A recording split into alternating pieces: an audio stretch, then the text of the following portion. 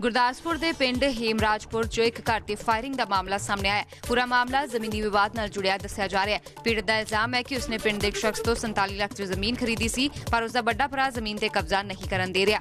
ਪੀੜਤ ਦਾ ਇਲਜ਼ਾਮ ਹੈ ਕਿ ਸਿਆਸੀ ਧਿਰਾਂ ਵੱਲੋਂ ਰਾਜ਼ੀਨਾਮੇ ਦੇ ਲਈ ਉਸ ਤੇ ਦਬਾਅ ਪਾਇਆ ਜਾ ਰਿਹਾ ਤੇ ਉਹਨਾਂ ਵੱਲੋਂ ਹੀ ਫਾਇਰਿੰਗ ਕੀਤੀ ਗਈ ਹੈ। ਫਿਲਹਾਲ ਪੁਲਿਸ ਨੇ ਪੀੜਤ ਪਰਿਵਾਰ ਦੇ ਬਿਆਨ ਦਰਜ ਕਰਕੇ ਮਾਮਲੇ ਦੀ ਅੱਗੇ ਦੀ ਜਾਂਚ ਸ਼ੁਰੂ ਕਰ ਦਿੱਤੀ ਹੈ। ਸ਼ਾਮ ਨੂੰ ਨਾ ਮੇਰੀ ਵਾਈਫ ਦੇ, ਮੇਰੇ ਬੱਚੇ ਘਰ ਹੀ ਤੇ ਕੋਈ ਇਹ ਰਣਜੀਤ ਸਿੰਘ ਤੇ ਅਮਨਦੀਪ ਸਿੰਘ ਤੇ ਰਮਨਦੀਪ ਸਿੰਘ ਤੇ ਸੁਰਿੰਦਰ ਸਿੰਘ ਸਾਨੂੰ ਪ੍ਰੀਤਮ ਸਿੰਘ।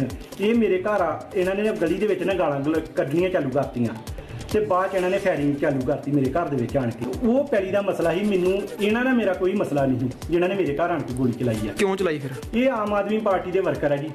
ਪੈਸੇ ਦੀ ਮੰਗ ਕਰਦੇ ਰਹਿੰਦੇ ਆ ਕਿ ਅਸੀਂ ਉਹ ਜਿਹੜਾ ਪੈਲੀ ਤੇਰੀ ਦਾ ਮਸਲਾ ਆ ਅਸੀਂ ਤੇਰਾ ਨਿਬੇੜ ਦਿੰਨੇ ਆ। ਸਾਨੂੰ 2.5 ਲੱਖ ਰੁਪਇਆ ਦੇ ਦੇ। ਮੈਂ ਕਹਿੰਦਾ ਕਿ ਪ੍ਰਸ਼ਾਸਨ ਕੋ ਕਰਨਾ ਕਿ ਆਮ ਆਦਮੀ ਪਾਰਟੀ ਬਣਾਈ ਹੈ ਲੋਕਾਂ ਦਾ ਭਲਾ ਕਰਨ ਵਾਸਤੇ।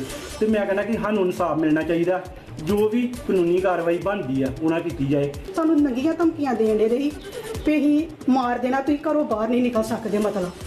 ਜਿੱਥੇ ਮਰਜ਼ੀ ਮਤਲਬ ਤੁਸੀਂ ਆਪਣਾ ਜੋਰ ਹੈ ਵੀ ਮਾਰ ਦੇਣਾ ਹੈ ਤੇ ਸਾਡੀ ਪੁਲਿਸ ਟੀਮ ਜਿਹੜੀ ਰਾਤ ਗਈ ਸੀ ਇਨਵੈਸਟੀਗੇਸ਼ਨ ਕਰਨ ਰਾਤ ਜਦੋਂ ਸਾਡੀ ਪੁਲਿਸ ਟੀਮ ਗਈ ਤੇ ਉੱਥੇ ਉਹਨਾਂ ਨੂੰ ਉਸ ਟਾਈਮ ਕੋਈ ਖੋਲ ਵਗੈਰਾ ਨਹੀਂ ਲੱਭੇ, ਠੀਕ ਹੈ ਜੀ।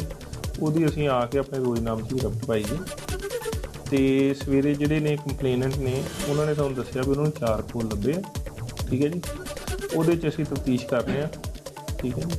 ਜਿਹੜੇ ਕੰਪਲੇਨੈਂਟ ਦੇ ਮੁਤਾਬਕ ਜਿਹੜੇ ਜਿਨ੍ਹਾਂ ਨੇ ਕੀਤੀ ਆ ਫਾਇਰਿੰਗ ਉਹਨਾਂ ਨੂੰ ਪੁੱਛਗਿੱਛ ਕਰ ਰਹੇ ਆ ਤੇ ਜੇ ਲੋੜ ਪਈ ਇਸ ਦੇ ਵਿੱਚ ਅੱਗੇ ਐਫ ਆਈ ਆਰ ਜ਼ਰੂਰ ਕੀਤੀ ਜਾਏਗੀ ਜੀ। ਜੋ ਕਾਨੂੰਨ ਮੁਤਾਬਕ ਕਾਰਵਾਈ ਉਹ ਅਮਲ 'ਚ ਲਿਆਂਦੀ ਜਾਏਗੀ